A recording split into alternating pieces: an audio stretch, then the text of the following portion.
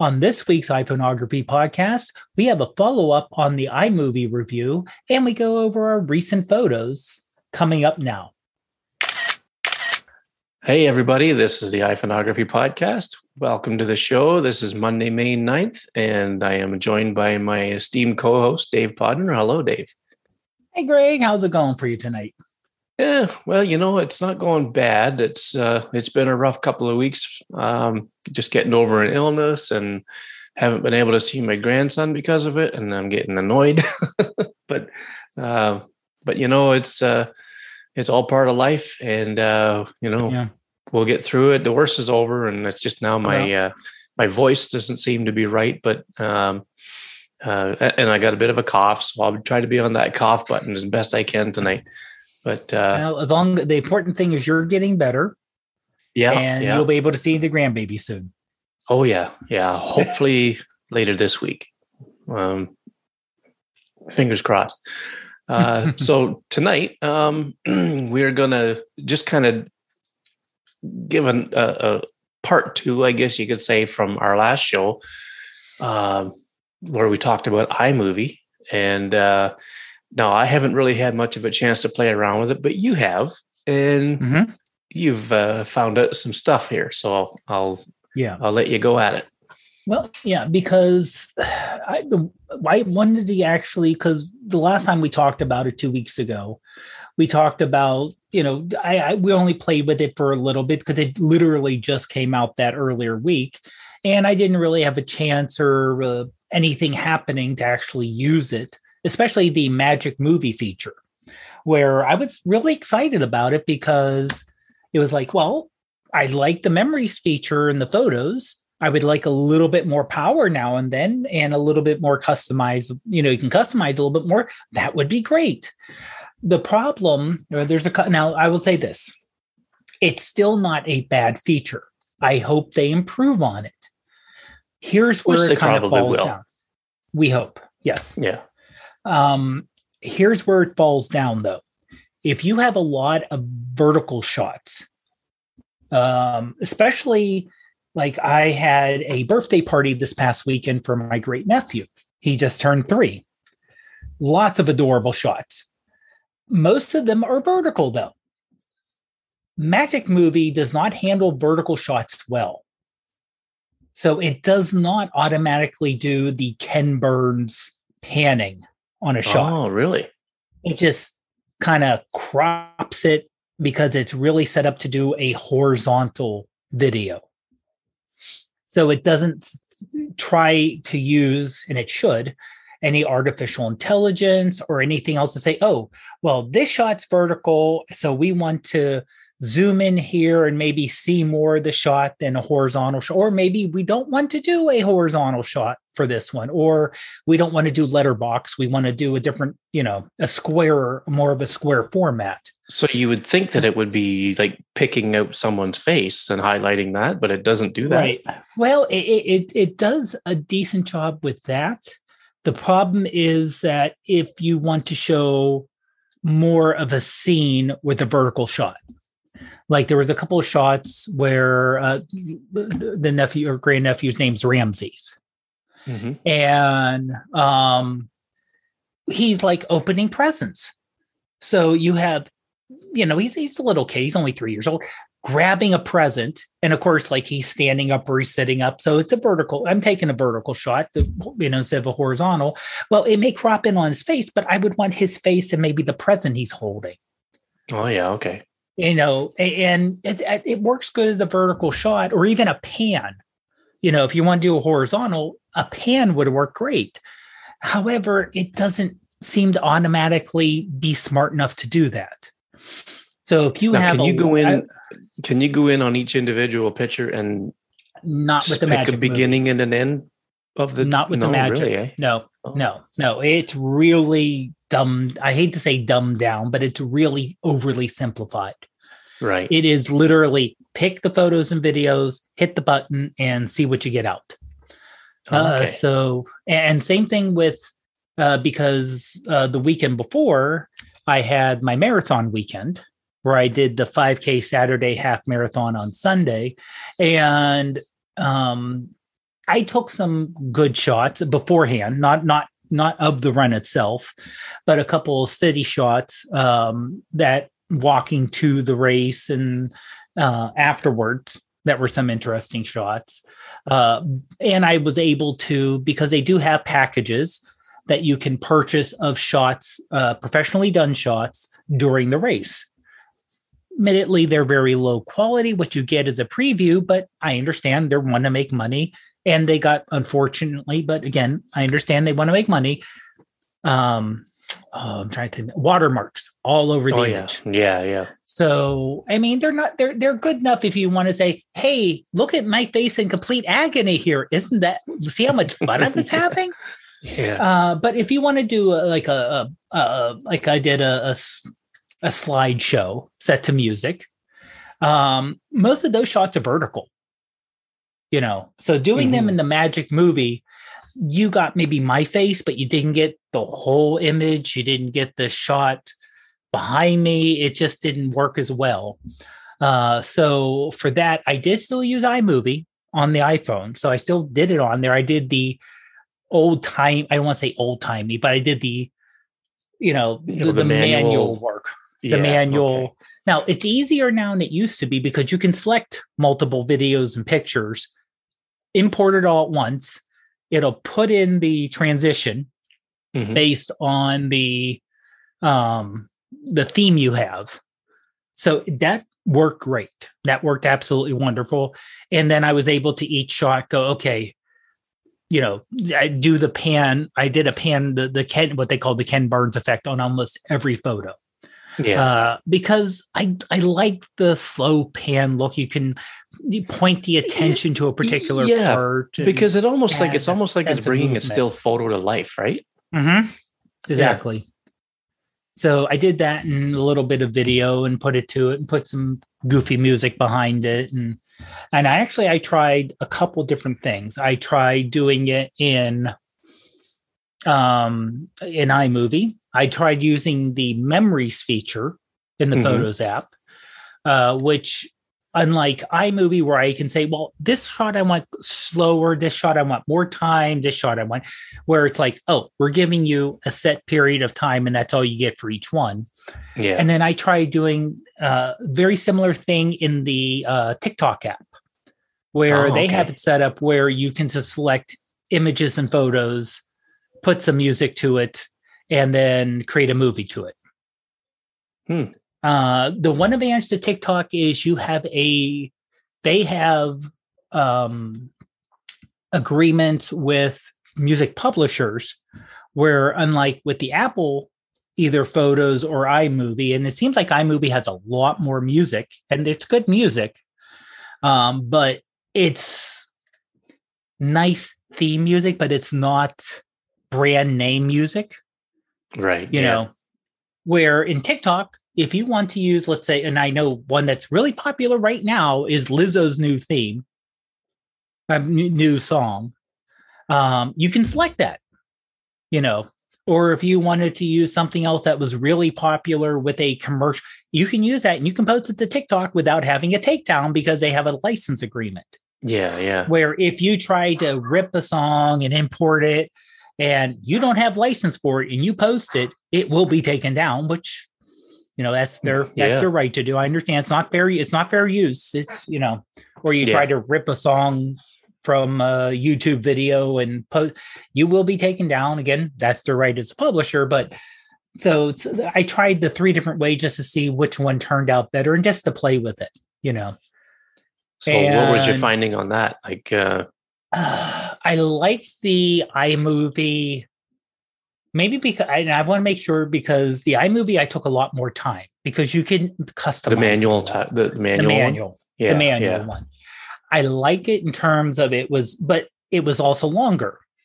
You know, it turned out to around two minutes because it just didn't show an image. It actually had the slow pan on some images and Oh yeah. you know so i like it but i also put a lot of time a lot more time to make it but it was also two minutes which i know most people will not watch a video for two minutes unfortunately anymore i know it sounds weird people want that one minute at most including Instagram, which will not allow you to upload more than a minute long video.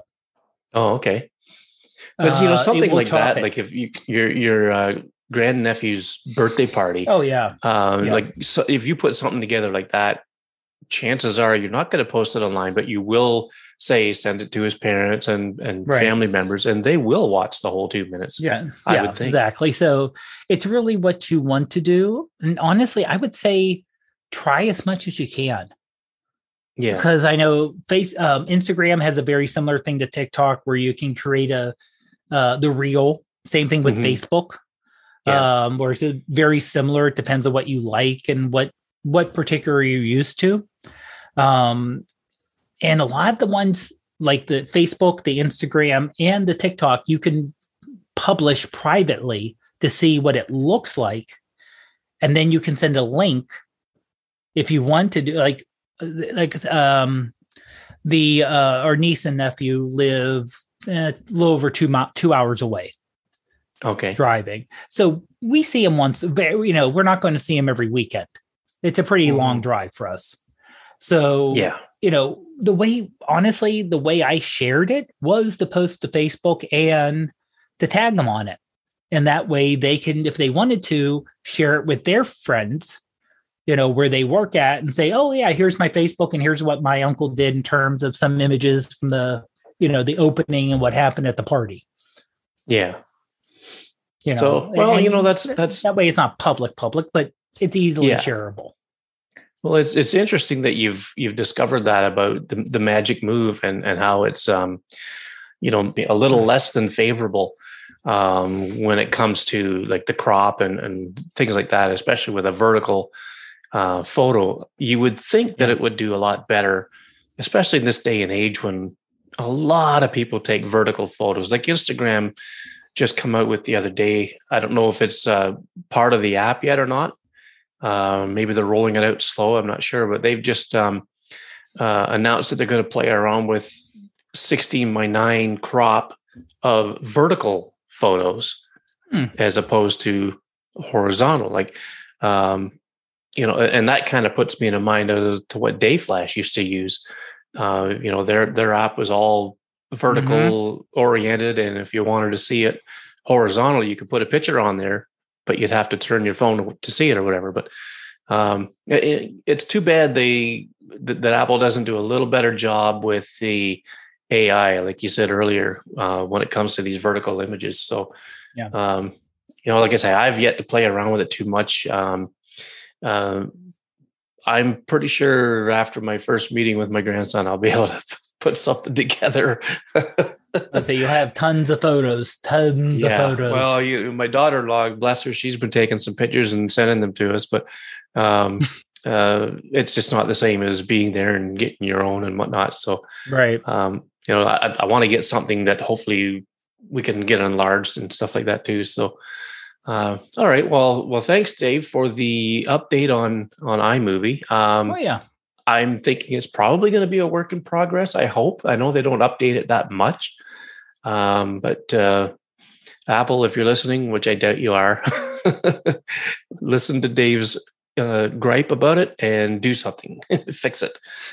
Um, so, okay, so you know, because of my voice and everything else, we're going to keep this episode a little short, uh, shorter than usual. So we won't have any tips or anything, but we will go through our recent photos real quickly here. And um, uh, you know, as we do, well, I'll start with you, Dave. Now let's let me Sure. get uh, get these up here. This is a cool photo of a section of a bridge, and I'm going to guess that that's a railway bridge. It is, yeah. That's a railroad bridge. Uh, Okay. It's a freight railroad bridge, um, and I kind of like I, the reason that this caught my eye. I did take a further shot away that had the entire bridge, but I also wanted to capture the other bridges going upriver, um, because it, it, if you notice in the distance, this is actually this was um, Friday, uh, a couple Fridays ago that there's a um the railroad bridge right behind that there is a kind of a green uh, a, gr- a bridge with the green bottom behind it Yeah. Um, and then there's a yellow arch bridge. And Oh, a little wow. further upriver, there's another railroad bridge. And there's a blue bridge right above that. Wow. So, and I, that's I, I, I couple never miles. noticed all these bridges in this one shot. That's crazy. Yeah, and they're almost the way they kind of nest underneath each other Yeah. because yeah. of the way the the the, the angle goes. yeah. Because once once you see the one, like the green one in behind, the 1st one, Mhm.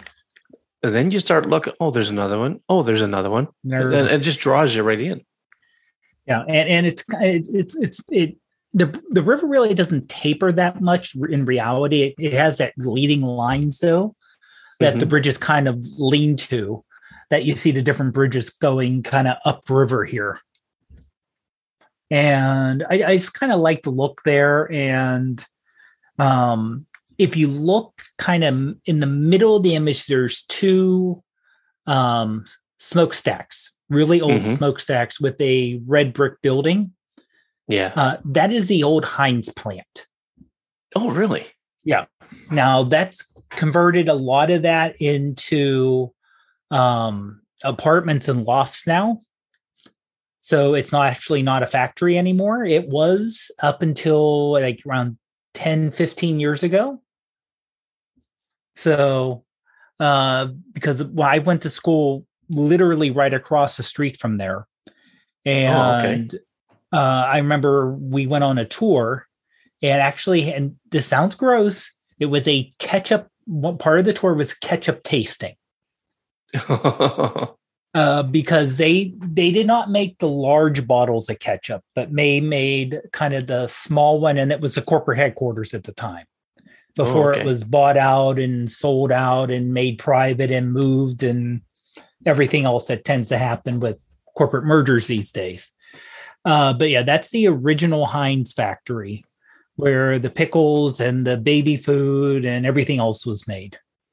Hmm, Interesting. And it's like I said, it is neat that they're still they reuse the building instead of just tearing it down, putting some nondescript building up. Yeah. Well, you know, it it, gives you know it keeps the uh, um, you know the old style look of the city alive too. Yeah. Yeah. Speaking of city, this glass building is amazing. Yeah, yeah. This is this is cool. Um, this was actually a little before the half marathon. Uh, this is in in from Market Square. So this is actually it's this year. I mean, we're talking decades and decades ago. There used to be a market building where the road went underneath it here. Uh, but for whatever reason, you know, they decide the building wasn't necessary or tor- so they so it's an open square area now. Um, and the building you're looking at is actually the headquarter of PPG, uh, Pittsburgh, Oh, okay. formerly known as Pittsburgh Plate Glass. Yes. So, so that was, um, it was built in '83, and basically it was built as a glass castle to show off their glass that they made. So and that's their that's their tower, and it's nice, kind of nice because you have the the square in front of you where there's different restaurants and areas, and around Christmas there's a little um, um, uh, market, Christmas market they have set up there. Mhm. Um, and so it's it's a really popular open area, and it just w- was having that you know gothic glass structure just behind it is kind of a neat setup there. I don't know if I ever told you, but we had a glass plant, a PPG glass plant right here in Oh. town years ago. Uh, it, has been closed down for probably 25 or 30 years now, Yeah. but, uh, but yeah, it used to be one of the Oh, okay. big employers of the city. Yeah, it's one, one of the things that's crazy is that PPG actually sold off the glass component of the company. So PPG no longer makes glass, but they make paint, Yeah. which is just kind of, you know, it's it's it's like a car company. It, it's just it's kind of crazy. It's like, oh, so what you what your company literally is named after, you're not involved in anymore. Yeah, yeah, really. yeah. And this next one, it's a, very nice looking blossom. I don't know what kind it is. Uh, this um, is a lilac lilac bush, bush in our backyard. Oh, okay. So yeah. it's a real up close shot. Yeah, yeah. So this is um, from below, um, and I did some adjustments to make the sky a little more uh, expressive uh, mm-hmm. instead of just kind of a exactly. Yep. Thank you. Yeah. And uh, yeah, this is basically a macro shot. So this was just me going up to the bush and looking from beneath it, and it's still blooming. Um, mm-hmm. So it's still nice. It still looks nice. Um, so this is just a really up. I, I just noticed, you know, before it was just out there, and was like, okay, I'll, and I just kind of knows from afar. You can see it blooming, and you can see the the the hint of purple there. And I walked up to it, and it almost all the flowers were better underneath versus on top. So i was mm. able to get a nice shot of the flower with the with the leaves behind it acting as a way to without it getting washed out with the with the back with the uh, sky background.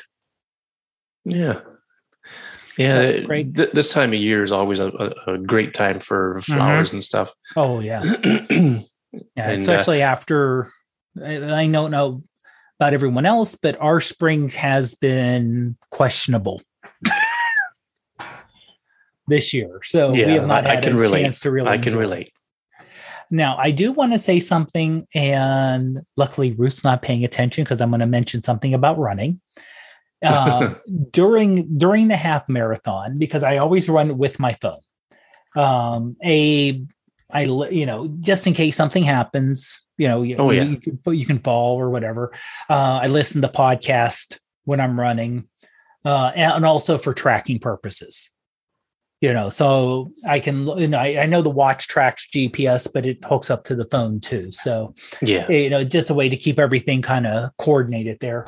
But so I had my phone in my armband, and I was, it, it, they were calling for rain during the race. At first, it was well, it's not going to start raining till 1030. And I'm like, okay, well, uh, you know, I'm going to probably hit the start line around 720 to 730. It's going to take me around three hours. I should be good if it's only light rain. They were wrong. They were very wrong. Oh, really? Uh, oh, yes. Um, starting around a mile maybe or so into the race and lasting until maybe mile four. And the way I'm going, that's around. Mm, I'm gonna. I don't want to overstay. Maybe around a half an hour. Half hour. Let's say 35 to 40 minutes. Um, basically, go into your. Sh- if you have a shower, go into your shower. Turn on your shower like you normally get a shower, and that's how heavy it was raining. Oh wow! So it was a torrential downpour. Um, it was literally just a, for half an hour, just going in that heavy, heavy rain. Um, I did see one bolt of lightning and two flashes of lightning and heard thunder. Uh, actually, a friend of mine decided to drop from the race for safety reasons because oh, of yeah. the lightning and thunder. Yeah. Um, I I, I, I assume that the race people would, if it was dangerous, they would have stopped it. And since they didn't stop it, it wasn't dangerous. So I kept running. Maybe not the best decision, but I had no issue with the phone with waterproof. Oh, interesting. Yeah. And like I said, I did have, I had an armband on and I had just a short sleeve shirt kind of over it.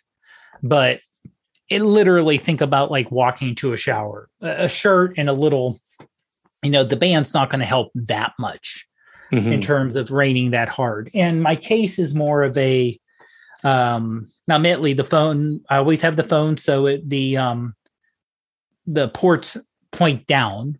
Yeah. So, you know, it, the rain would have to kind of get underneath, which it, if it's that wet, it can soak through. But I've had I had no issue at all, which you know it, it, it's nice because it's you know it says it's waterproof, you know, it's the the water resistance and you can do it and you know they say don't go don't swim with it but if you get it wet it's not the end of the world. Well it's nice to know that i went into a soaking rain and i had we'll, we'll, we'll watch tonight but i had no issues with it.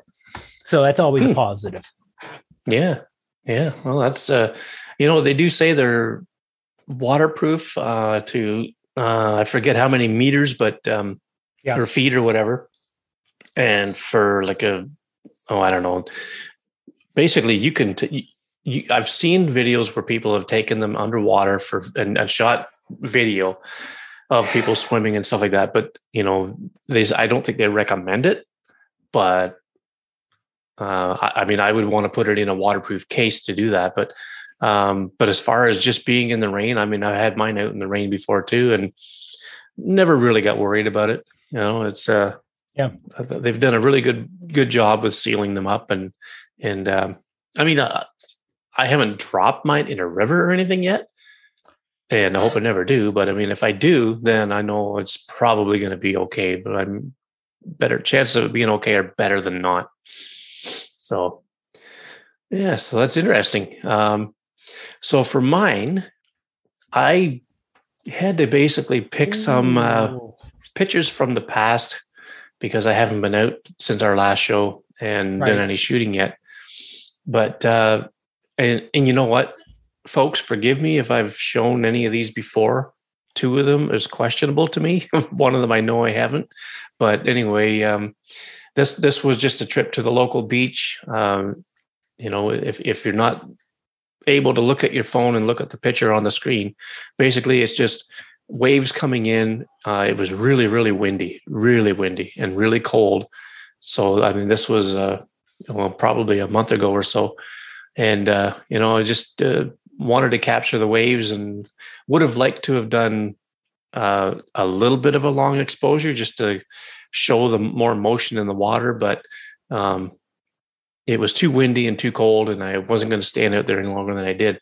But uh, you know, and then basically you just got the sandy beach, and the foreground has some some uh, beach grass or whatever on a little mound of sand. So it's a very simple photo, but um, uh, just something that I just picked out while Dave and I were talking before the show, just so I could have something to show here. And uh, that's about it for that. I, I would say I love the waves coming in, like in in just the, the series of waves coming in at you. Yeah, it was almost like they were just relentless, one after another after another. Ooh. Now, if it was like, you know, 90 degrees in the summertime, oh, it yeah. would be a lot of fun to be out in that water jumping over the waves and stuff. But it was so cold. And this one here is just like a minimalist photo of a big rock on the shoreline. Um, this was at another mm. beach in mm. another town. Um, probably about three weeks or so ago or so. And uh, all you can see in the photo is just water everywhere and a big rock. Now that rock is probably about, I want to say, probably eight to ten feet long. So it, was a good size, mm-hmm. and uh, you know, I just thought it was interesting to to keep it minimalistic. There was a few other rocks um, just outside the frame, but I just wanted to capture that minimalistic look. And uh, um, I don't really know if there's much editing done to this other than to maybe um, bit of contrast and and sharpness or whatever. But other than that, that was it.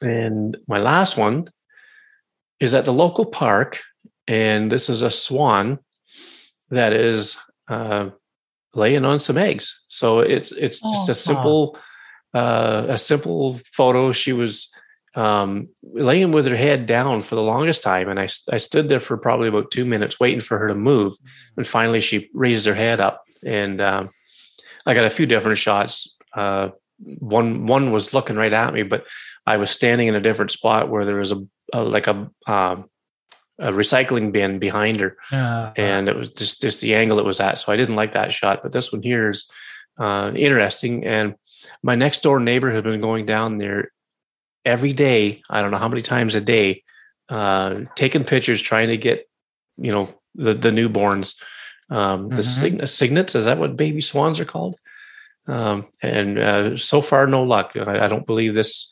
I don't believe they've hatched yet. So uh, sometimes you'll see the, the, both the mother and the father. I, I, I honestly don't know who looks after the nest most of the time, whether it's the male or the female. But uh, I mean, everybody just assumes that this is the mother. So um, it'll be interesting to see how many they have when they have have them, mm-hmm. and and uh, maybe I'll get down and get some of the babies too. Oh, yeah. So, and, and this this part of the park, the local park here, there's all kinds of ducks and and other kinds of birds in here, and um, uh, you know, pretty popular attraction for for people to go down and see. So, yeah. Well, how far away were you when you took that picture, Greg? Uh, I, so I used my telephoto on the on the uh, on my iPhone, and so that was probably about 50 to 60 feet away maybe. So it is oh, wow. it is cropped in a little bit. Uh, still that's um, sharp. I would have guessed you were much you were much closer. Yeah it it, it was yeah it's just a, a, little bit cropped in probably about maybe 25% uh, cropped off the edges mm-hmm. and uh and then I, I i don't think i did anything else to it to be honest with you um but but yeah it'll be interesting to see when the young ones get there Oh yeah, most definitely. Wow. So, well, I think we're going to call it a night there, Dave. And um, sounds good. So, folks, if you if you like, you know, hearing about our photos, let us know. Um, hit us up on social and all that stuff, and, and tell us what you think. Uh, if we're boring you to tears, let us know. If you like what you see, let us know. and uh, you know, um, because we don't want, you know, we don't want to do a show where we're going to turn you away or anything, but um, you know, we we like talking about what we've been shooting lately, and um, you know, it's very interesting to see Dave's world compared to my world, and you know, we live I don't know how many hundreds of miles away, yeah. uh, but um, you know, two different countries, weather-wise, pretty much the same, but uh, you know, different cultures, different countries. Um, I'm in a small city. Dave's part of a lot bigger city, and and we just think it's interesting to um, you know to show these and and to talk about them. And um, you know, by all means, let us know what you think. So, um. I just want to close off by saying that um, if you've looked at your podcast feed, you'll see that David Addison is back. He just released a show today where he interviewed the founder of the uh, editing app Darkroom. And uh, so I'll put a link to the show in the show notes for that. Uh, also for the YouTube video. Um, it, it's you know it's just a, a video of the interview, but um, you know David comes on at the beginning and talks a little bit about you know why he's not been around and and whatnot. So it's a good way to catch up with him there. And um, you know, by all means, go to the video on YouTube and comment and and uh, you know, tell him you miss him. Uh, it's it's nice to have him back on the network, and uh, look forward to seeing other other things from him again soon. So, uh, well, Dave, uh, thanks for coming on tonight, and uh, oh, no let's just Greg. tell everybody thanks, where thanks. they can find you. Thanks for um, toughing this one out. You can find me yeah. on uh, Twitter and Instagram as Prof Pod, and you can find me on um, uh, TikTok. Occasionally do things not a lot photography related, but uh, post some things there as Prof Pod PGH, and on the Facebook group as Dave Podner. All right. You can find me on Instagram at McMillan Photo and Twitter, McMillan underscore photo, and uh, all my online stuff at uh, about.me slash McMillan. The podcast lives on iphoneography.ca, and uh, from there you can either watch a video version if there is one, or you, you can click a link and listen online to the audio version. And um, well, I guess that's about it. Uh, thanks, Dave. We will see you all the next one. Have a great one, everyone.